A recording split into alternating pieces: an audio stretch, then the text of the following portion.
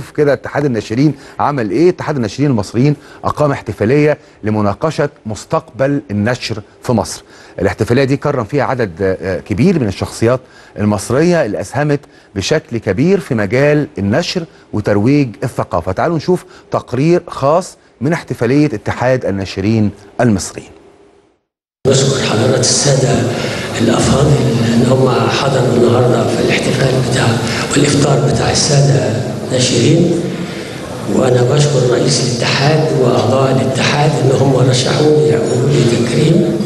كعادته السنوية أقام اتحاد الناشرين المصريين حفل الإفطار السنوي الذي يضم جموع الناشرين في مصر بحضور وزيرة الثقافة الدكتورة إيناس عبد الدايم. أنا سعيدة جدا إن أنا موجودة النهارده معاهم على الرغم أنا إيه كنت باجي قبل كده وبحضر آه، مش بحكم طبعا المنصب ولكن بحكم إن أنا في وزارة الثقافة وعلى اتصال بناشرين كتير آه، مبسوطة النهارده و- وسعيدة جدا بالتكريم الحقيقة لأن تكريم النهارده لعنصرين من العناصر اللي حقيقي أثرت فينا إحنا كلنا جميعا كمصريين بأجيال كتيرة جدا.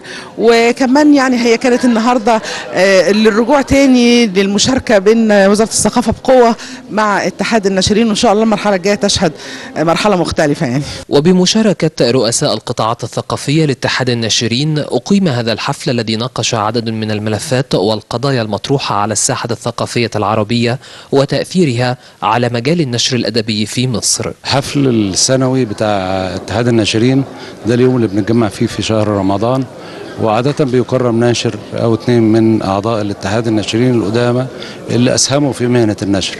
هذا العام تم تكريم اتنين من أعمدة النشر في العالم العربي ومش في مصر بس وهو الأستاذ محمد إبراهيم رئيس مجموعة آه، شركات نهضة مصر واسم الراحل محمد مدبولي صاحب مكتبة مدبولي.